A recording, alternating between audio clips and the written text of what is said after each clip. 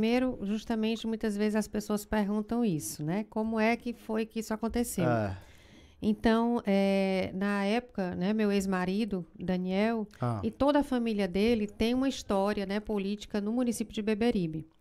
E lá, realmente, lá sempre foi um município, tem municípios assim, até hoje no interior do Ceará, em que existem os grupos, né? São dois grupos, ou você é esse ou você é aquele. Ó, situação oposição. É, ou situação, oposição e tal. E aí, ele já vinha na política já há um tempo, já o conhecia assim.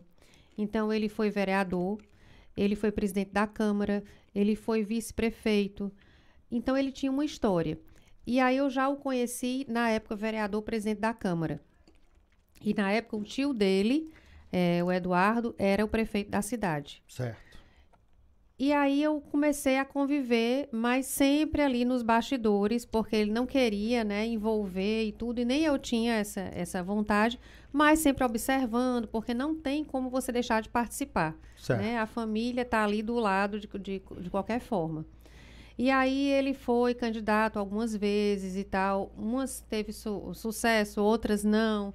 E aí eu também já pedia, vamos, se afaste, né? E tudo, porque a família fica muito sente com a ausência. E aí chegou uma eleição em que ele estava muito bem nas pesquisas, que foi em 2012 mas por algum processo que ele que estava tramitando, que ainda ia ser julgado, ficou-se na dúvida de ele realmente assumir e depois, por algum momento, precisar se afastar da prefeitura. E aí teve uma decisão difícil de ser tomada. Disse: olha, é melhor você indicar alguém. E aí ele veio conversar quem seria uma pessoa sua que você que você se sentisse representado naquele momento, porque as pessoas queriam essa mudança. E aí ele botou meu nome.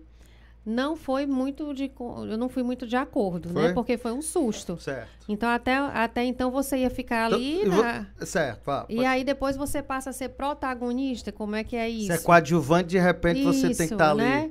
Tem É. que estar ali. E por mais que tenha uma pessoa, como eu falei, você é o prefeito, você tem que se fazer colocar em alguns Claro. momentos, não tem quem faça isso por você. E aí foi realmente esse foi abrupto, mas assumi lá o, o momento e Essa passamos essa responsabilidade. responsabilidade de 2013 até 2016.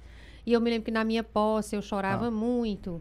E aí, mas pensando no amanhã, e as pessoas diziam como ela está emocionada, olha, e eu pensando, meu Deus, como você falou, amanhã eu vou ter um município Exato. de tantas mil, Mil pessoas, pessoas. sob a minha responsabilidade. Exato. E isso, E a esperança depositada das pessoas. Porque Exatamente. você ganhar um pleito eleitoral, principalmente é isso. Toda campanha, uma vitória, ela está recheada de esperanças através de propostas e, e, e outros desafios mais, né? sim, Então a política ele chamou e aí nessa pergunta que eu digo, você não era, se tornou. E aí Me onde é que você tornei. se familiarizou no negócio? Digo, rapaz, agora eu vou dar por um Pronto. da e aí, coisa. mas o que é que acontecia? Muitas vezes, nos comícios de alguma coisa, quando terminava o comício, aí eu, eu às vezes dizia que é ruim isso, mas eu dizia, você devia ter dito isso, isso e isso. Aí ele ficava, aí até que teve a oportunidade de eu falar realmente o que, o que eu queria. Certo. Então, até que teve um dia que ele disse, pois hoje você vai falar. É. Aí eu disse, é mesmo, pronto. Aí ele passou o microfone para mim e eu comecei a falar, ainda naquela campanha, né? Que depois, até então, eu não sabia que ia me tornar a protagonista no final. Certo. Mas comecei a me colocar e as pessoas começaram a gostar. A sua opinião própria, os seus Isso, sentidos, aí, os seus olha, pensamentos. foi bom ela ter falado, então vamos ver se ela fala na próxima também, né? E aí foi essa constante, e aí eu fui, né, e tal, e no final acabou que eu tive que realmente enfrentar ali a situação.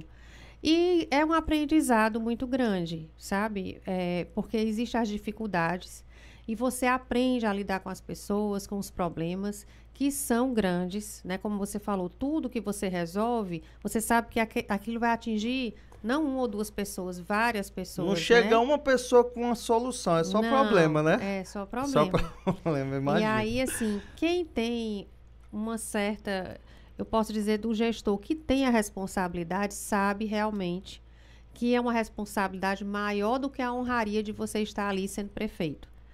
É uma honra você estar exercendo um cargo público, estar à frente do município, é uma honra. Mas eu acredito ainda até hoje que a responsabilidade é maior, né? Imagino.